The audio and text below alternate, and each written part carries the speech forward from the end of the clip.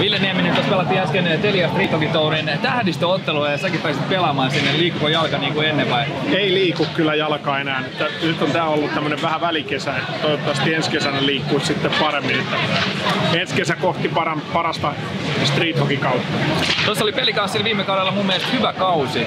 Miten sun mielestä? Oliko hyvä kausi vai oliko tyytyväinen? No joo, saatiin kovaa jäätä luistinten alle, mutta nyt alkaa uusi kausi ja uudet kujeet, uudet pelaajat. Ja nämä kaudet ei nykyään ole enää veli eikä siskoja keskenään, että aina lähdetään uudella kokoonpanolla ihan uutta tarinaa tekemään.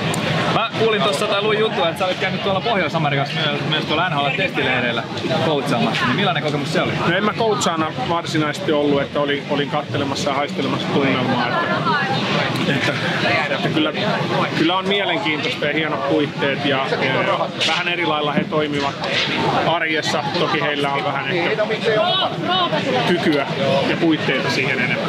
Jos palataan vielä nopeasti tuonne Lahteen, niin millainen peli kanssa nähdään ensi kaudella?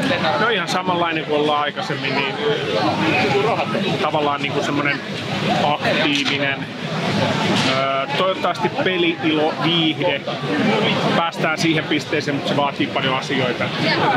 Hyvin, pelattaisiin joukkueena ja kaikilla olisi samat, samat suunnitelmat ja samat tavoitteet ja, ja semmoinen vaistonvarasti pelattaisiin yhdessä ja, ja, ja tämä vaatii sen, että kaikki pelaa henkensä kautta. Kyllä sieltä kautta Toivotaan nähdä kaudella nälkäinen peli kanssa. Mä oon tossa kysynyt, kun sulki on ollut tässä kesäaikaa, varmaan Suomessakin jonkun aikaa olla, niin Suomen kesään kuuluu sauna, järvi ja totta kai grillaaminen. Niin mitä, mitä Ville Nieminen laittaa grillille?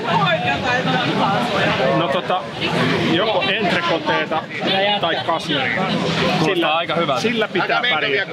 Mitä rasvasempi, sen parempi. Hyvä. Kiitos paljon Ville Nieminen. Kiitos.